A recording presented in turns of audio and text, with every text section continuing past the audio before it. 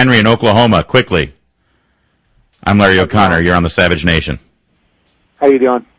Um, I used to live just like you. I lived in uh, outside of Detroit in Dearborn, hometown. You know, Ford Motor Company and so forth. Sure. And I watched the same thing you did happen. I had, all, I had tons of friends who, you know, as they grew up, uh, went into the auto industry.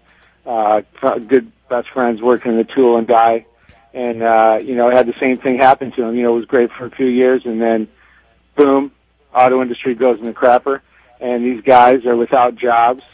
Uh, you know, they work one week on the job and for a motor company, they go two weeks off the job and go on employment, one week on, two weeks off. And, uh, you know, and it took, it took years for these guys to find jobs. And when they finally did, they had to take obviously massive pay cuts if they were lucky to find a job at all. Yeah.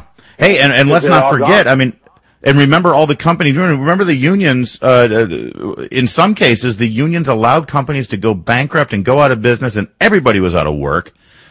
Yep, rather yep. than take some sort of what they consider a give back. It was just, it was Twinkie Nation all over again. Remember, just like the Twinkies. Exactly. And I watched this guy, uh, like I said, my best friend's company. You know, they were based in England. They had, they did tool and die stuff for him. They built, you know, all kinds of different things. But anyway, their company, it wasn't, it wasn't profitable for them to stay in Michigan anymore because they just couldn't afford it. They, Yep. the, the, the unions made the, the wages way too high and benefits and so forth, and so they bailed.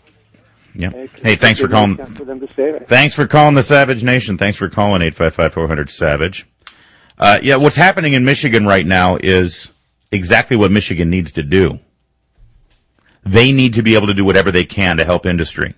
They need to be able to do whatever they can to get people working again. It's been decades. It's been decades since that state has had any kind of economic performance. And you now have a Michigan state, uh, you got a Republican state senate, you've got a Republican state legislature, and you've got a Republican governor. That didn't happen by accident. They're done. They're done.